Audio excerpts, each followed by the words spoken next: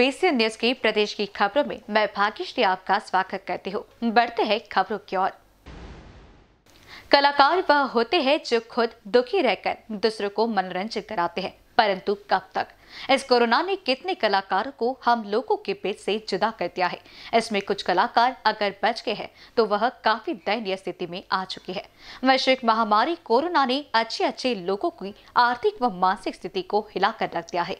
चाहे वह फुटपाथ विक्रेता हो, प्राइवेट शिक्षक हो, वकील हो, व्यापारी हो, चाहे वह कलाकार हो। इस वैश्विक महामारी ने सभी की आर्थिक कमर को तोड़कर रख दिया है। कलाकार छोटे हो या बड़े, सभी की स्थिति दयनीय हो गई है। इतनी बड़ी फ़िल्म इंडस्ट्री, वो भी चरमरा सी गई है। इस वैश्विक महामारी ने सभी को घरों में कैद कर दिया है। सरकार कलाकारों को ना तो कोई राशि मुहैया करा पाई, ना ही कलाकार को और कोई सहयोग मिल पाया। लगभग 18 महीने के बाद कोरोना की लहर कुछ कम होते ही आज एक कलाकार चौक चौराहे पर घूमते फिरते बांसुरी बजाते दिखा। उनके हाथों में बांसुरी का गुच्छा था, परंतु उनकी आँखें नम थी और उनका चेहरा बहुत कुछ बयां कर रहा था। उनसे पूछे जाने पर वह कलाकार अपना दर्द कुछ इस प्रकार बयां करते हुए दिखा। उनका कहना था कि हम लोग लगभग 18 महीने से घर पर गए थे। इस कोरोना काल ने हम लोगों को काफ़ी क्षति पहुंचाई है। हम लोगों का व्यवसाय कलाकारी है। मैं बांसुरी बजाता हूँ और बांसुरी बनाकर बिक्री करता हूँ, जिससे मैं अपनी और अपने परिवार का जीवन यापन करता हूँ।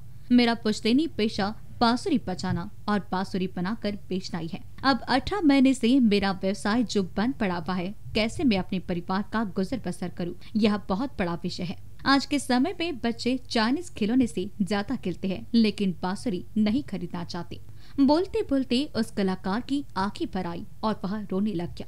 फिर उसने कहा कि परिवार चलाने के लिए मुझे इस वैश्विक महामारी कोरोना से लड़ते हुए आज घर से सड़क पर निकलना पड़ा, लेकिन सरकार से गुहार लगाओ तो लगाओ कैसे? उनकी आँखों में इस कोरोना के दंश का दर्द छलक रहा था। वह बोलते बोलते फपक फपक कर रो पड़ता था। यह कहानी एक बांसुरी बचाने वाले उस कलाकार की है, जिसका नाम दाऊद शाह, जो चतरा पंचायत, जिला अरिया का रहने वाला है। ये लगभग 55 साल से इसी बांसुरी की कमाई खाते थे, लेकिन यह अठारह महीने उनके लिए और उनके परिवार के लिए काफ़ी कष्टकारी रहा। उनका व्यवसाय बांसुरी बचाना और बांसुरी बनाकर बेचना बिल्कुल ठंडा पड़ गया है। अब देखना है कि सरकार इस पर क्या सोच लेती है। अभी तो एक दाऊद शाह सड़क पर नज़र आए हैं। न जाने कितने ऐसे दाऊद शाह कोरोना की कहर को झेल रहे होंगे। ही से एक बार हम भागलपुर आए भी तो यहाँ पर लॉकडाउन उस दिन लगवे किया था। लोगों बोले, भाई देखिए, अभी परहेज रहिए, घर में रहिए। यार बचिएगा तो कमा कर के तो खाना है ये है। तो घर के लॉकडाउन में सर हम लोग नहीं कुछ दुकानदारी भी कर सके। और समाज का जो है कुछ सहायता मिला अगर कर्जा उर्जा लेके बाल बच्चे की निबार की। अब लॉकडाउन टूटा है तो निकले हैं तो ऊपर वालों का भरोसा है। दो वक्त की रोटी तो ऊपर वाला ज़रूर है देगा। और अगर कोई हमदर्द ऐसे आदमी मिल जाते हैं तो बाँसुरी भी सुन लेते हैं, बाँसुरी अगर देते हैं। तो सौ, दो सौ, चार सौ रुपया तो खैर उन लोग के लिए आम बात। है और सर, देखिए, कलाकार का आज तक कोई हिसाब लगा नहीं सका, और न उसकी कोई कीमत लगा सका, इसकी तो अनमोल बात है, हैं। तो इस लेकर कर कर, करके आप लोग के ऐसे आदमी अगर कभी बैठते हैं तो हम लोग को भी सकून मिलता है। देखिए, कलाकार और कदरदान ये दोनों का संबंध। अगर जो कलाकार जगह कोई चीज़ अगर बजा रहे हैं अगर गा रहे हैं, और जो कलाकार का अगर स्वागत कर रहे हैं और वो सुन रहे हैं तो कलाकार से उसका भी सम्मान कम नहीं, क्योंकि वो उनका ये देख करके कह रहे हैं कि भाई बहुत अच्छा बना इसलिए करके दोनों का मिलती जुलती है। दोनों का ऐसे हीरो तो लीजिए जरा सा हल्का हल्काओ आपको हीरो फ़िल्म का। हमारे छोटे बाबू साहब बोल रहे हैं कि जरा सा बजा दीजिए बजा दीजिए।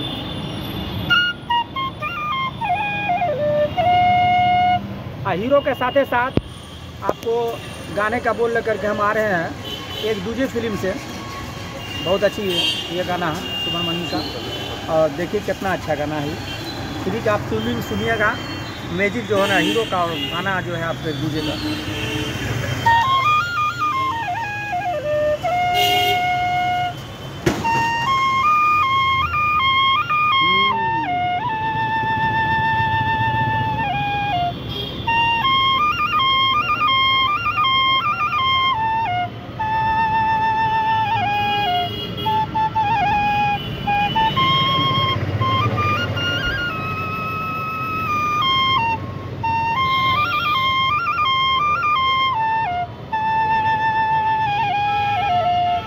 बेसियन न्यूज़ के लिए भागलपुर से अमरजीत सिंह की रिपोर्ट। आज नूरपुर के टपल गाँव में राष्ट्रीय हिंदू शक्ति संगठन के दिल्ली प्रदेश अध्यक्ष आर एस बाली ने मंदिर निर्माण के लिए अपने शुभ हाथों से अपने संगठन के कार्यकर्ताओं व सदस्यों के साथ जाकर भूमि पूजन किया जिसमें गाँव के प्रधान के साथ सभी गाँव वाले भी उपस्थित रहे।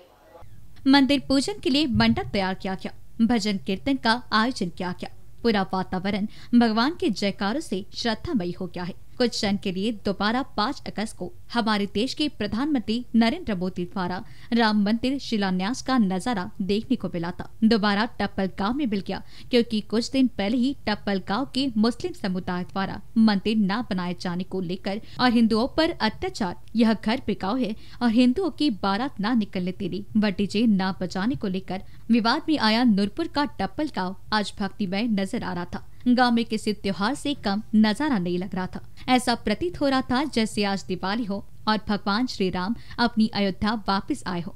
साथ ही आपको बता दें कि आर एस बाली पहले ही मंदिर निर्माण के लिए दो लाख रुपए की सहयोग राशि दे चुके हैं। उन्होंने कहा कि अब किसी भी तरह की मदद की ज़रूरत होगी तो मैं तैयार हूँ। जैसे ही कुछ असामाजिक तत्वों द्वारा बताया गया था कि यहाँ मंदिर नहीं बनाने देंगे तो उनको कहना चाहता हूँ कि मंदिर भी बनेगा और पूजा पाठ भी होगी। क्योंकि यह हिंदू राष्ट्र है और कोई भी हमारी आस्था को चुनौती देगा तो हम भी उसे बराबर जवाब देंगे। ऐसे बीच आर एस बाली के साथ संध्या सिंह रविंद्र चौहान बाबा कमांडो बल्ली पुनीत कुमार आदि कार्यकर्ता मौजूद रहे। का मकसद क्या है आपका? देखो वो तो अब पुरानी बात होगी मैंने शुरुआत कर दी है। पहले शुरुआत करने को तो दो लाख दे दिए या पचास लाख दे दिए वो अलग बात है। पर मैं देख रहा हूँ कि हिंदुस्तान सत्तर साल आज़ाद होने के बाद भी अगर गाँव में आप आप आके देखो इन बच्चों की हालत देखो इन बुज़ुर्गों की हालत देखो आप कहोगे कि ये मुल्क याद है ये गाँव याद है। चार सौ साल पुराना गाँव जहाँ एक मंदिर नहीं है ब्याह शादी होती कोई शगन अच्छा दिन होता तो कोई भी फैमिली है कोई भी बंदा पहले मंदिर मत्था टेकने जाता आगे मंदिर मत्था टेकता कि मेरा काम पूरा हो गया। चार सौ साल पुराने गाँव में मंदिर नहीं है एक। और इस गाँव की हालत देखो आप बच्चों की हालत देखो मुझे नहीं लग रहा कोई पढ़ रहा होगा इनमें। छोटे छोटे बच्चे मैं देख रहा हूँ पढ़ाई वाले बच्चे नहीं है मुझे लग रहा है। जब पिछली बार आप आए थे आपने गाँव का जायजा लिया था तो कैसा आपको गाँव लगा? क्या क्या स्थिति इसमें देखने को मिली कमी देखने उस टाइम तो देखो माहौल ख़राब था। सारी दीवारों पे लिखा हुआ ये मकान मुका हुआ हिंदुओं के मकानों पे लिखा हुआ वो सारा मैंने मिटवा दिया था उस टाइम आके। फिर मैं मंदिर की जगह देख के गया था आज मैंने इसका नींव पत्थर मुहूर्त कर दिया। आगे बनेगा भाव मंदिर बनेगा बढ़िया। पर कुछ कुछ और है जो इनकी जो गाँव वाले हिंदू है गरीब है इनकी हालत सुधारनी पड़ेगी। ये इस लायक बने कि ये इस मंदिर को भी संभालें अपने बच्चों को अच्छा लायक पढ़ाए लिखाए अच्छा इनको करें। मुझे नहीं लग रहा पे आज तक ये गाँव के को, को बच्चे स्कूल होगा यहाँ पे इनका जब कहीं जाते होंगे। बहुत हालत ख़राब लग रही है मुझे बच्चों की। सरकार से कोई अपील इस गाँव सरकार से हम करवाएँगे भी सरकार से अपील भी योगी जी से भी अपील है पे ऐसे गाँव आप अलग से उनकी छांटी करके लिस्ट बना के इन गाँव को देखो। हिंदुओं की बहुत हालत ख़राब है। ठीक है ठीक है। रविंदर जी आप भी इनके साथ आए अध्यक्ष जी के साथ। क्या कहना चाहेंगे? देखिए जो मुद्दा चल रहा था हमें जैसे भी प्रिंट मीडिया और न्यूज़ के सहारे से मालूम पड़ी। तो हमारे अध्यक्ष जी से कब मुझे फ़ोन आया कैसे से बात है आपने सुना है कुछ? मैंने हाँ जी हमने भी सुना है। किसके लिए क्या करना है? मैंने जी जो आपका आदेश होगा वो करना है। क्या आदेश ये है कि वहाँ चलना है और इस मसले को समाप्त करना है। चाहे तन जाए, मन जाए, जान जाए, कुछ भी जाए। और हम उसके लिए आए। प्रशासन था, प्रशासन भी उस हमारे दल को और एकत्र होने की जो तरीका था हमारा, उसको देख के प्रशासन के भी हाथ पाँव फूले यहाँ पे। और उन्होंने तुरंत कार्रवाई कर। और यहाँ जो लोग थे उन्हें अरेस्ट भी किया गया है। मुझे जैसे प्रधान जी से भी मालूम पड़ा है। अरेस्ट भी किया गया और उस दिन से माहौल यहाँ पे बिल्कुल ठीक है। न्यास करने आपकी टीम पूरी आई है और आप लोगों ने अध्यक्ष जी ने नींव रख दी है। क्या कहेंगे कितनी खुशी है? देखिए बहुत ज़्यादा खुशी है। मंगलवार का दिन है हनुमान जी का दिन है। जिनका नाम लेने से सारे कार्य संपूर्ण हो जाते हैं। हम हिंदुओं का ये मानना है। तो आज के दिन को ये चुना गया है और बहुत कृपा उन भगवान की है जो उन्होंने हमें यहाँ आने का अवसर दिया। हम कुछ भी नहीं है हम एक इंसान है इनकी तरह। लेकिन हाँ हम जागृत इंसान हैं। और हमारा काम है इनको जागृत करना। पहली बार में मैंने गाँव में यही बोला था कि लोग संगठन आते रहेंगे एक दिन आएँगे चले जाएँगे। असली हिम्मत असली ताकत आपको एकजुट होकर दिखानी पड़ेगी। और आज इसका बदलाव आया फ़र्क है और आज आप फ़र्क देख रहे होंगे स्वयं भी। लग रहा है कि फ़र्क है पूरा? बिल्कुल फ़र्क है और हम बीच बीच में आते रहेंगे हम एक बार आने वालों में से नहीं है। प्रधान जी। अध्यक्ष जी ने जिस तरीके से यहाँ का काम किया और आप लोगों का सपोर्ट किया क्या कहेंगे इसके? इसका यही है कि यहाँ बहुत अच्छा भव्य मंदिर बनेगा और गाँव के जो भी हिंदू लोग हैं वो अपने में बहुत सतर्क हुए हैं और यहाँ एक संगठन बना है संगठन मजबूती से चलेगा और आपको हमको बाहर से जो दान मिल रहा है सब जो लोग आए दान के लिए वो दान भी मिलेगा और एक यहाँ भव्य मंदिर बनेगा। हाँ। संगठन के लिए कुछ कहना चाहेंगे? हाँ संगठन के लिए मैं यही कहना चाहूँगा संगठन अपना पूरा दान करे जो कि मंदिर के लिए जैसे ये मंदिर ब- बने। बीसीएन न्यूज़ के लिए दिल्ली से ब्रजेश कुमार की रिपोर्ट। बे की छात्रा दीपा की दबंगों की छिड़कान से परेशान और आहत होकर आत्महत्या का मामला मुख्यमंत्री के पास पहुँचा है। मोबा के सरकारी विधायक ने मुख्यमंत्री के सचिव को कार्यवाही के लिए पत्र सौंपा है। आरोपियों सहित ज़िले के कप्तान नरेंद्र सिंह सहित सीओ और थाना प्रभारी पर भी कार्रवाई की मांग की है। सत्ता पक्ष के विधायक ने हमीरपुर जनपद की कानून व्यवस्था की पोल खोली है। सरकारी विधायक ब्रजभूषण राजपूत ने सीएम, डिप्टी सीएम व पुलिस महानिदेशक को पत्र देकर कार्यवाही की मांग उठाई है। बीसीएन न्यूज़ के लिए हमीरपुर से रमाकांत विश्वकर्मा की रिपोर्ट। प्रतापगढ़ में एबीपी न्यूज़ गंगा चैनल के जिला संवाददाता सुलभ श्रीवास्तव की संदिग्ध मौत की उच्च स्तरीय जाँच कराए जाने, पीड़ित परिवार को 50 लाख रुपया मुआवजा राशि दिए जाने व पत्रकार सुरक्षा कानून तत्काल लागू किए जाने के संबंध में मुख्यमंत्री को संबोधित मांग पत्र जिलाधिकारी को सौंपा है।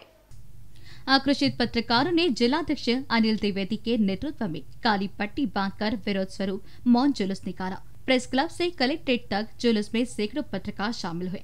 उल्लेखनीय है कि प्रतापगढ़ ज़िले में एबीपी न्यूज़ गंगा चैनल के जिला संवाददाता सुलभ श्रीवास्तव तेरह जून को लालगंज क्षेत्र में बरामद हुई अवैध असलाह फैक्ट्री का पुलिस द्वारा खुलासा किए जाने की घटना की कवरेज करने गए थे। वापस लौटते समय सुखपान नगर से कटरा मेदनीगंज चौराहे के बीच महकनी गाँव के समीप स्थित ईट भट्टे के पास रात करीब साढ़े दस बजे घायल अवस्था में मिले। उपचार के लिए उन्हें जिला अस्पताल पहुँचाया गया, जहाँ डॉक्टरों ने उन्हें मृत घोषित कर दिया।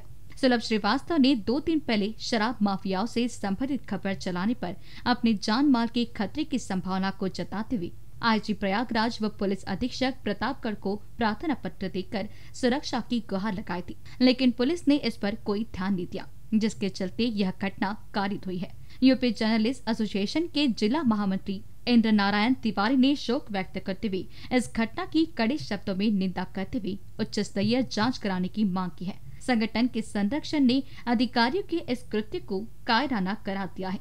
कहा कि उपजा सुल्तानपुर इकाई पीड़ित परिजनों को एक करोड़ रुपया मुआवजा राशि दिए जाने और शीघ्र पत्रकार सुरक्षा कानून लागू किए जाने की मांग करती है। ज्ञापन लेने के उपरांत जिलाधिकारी रवेश गुप्ता ने दिवंगत आत्मा की शांति के लिए पत्रकारों के साथ दो मिनट का मौन रखकर विनम्र श्रद्धांजलि दी।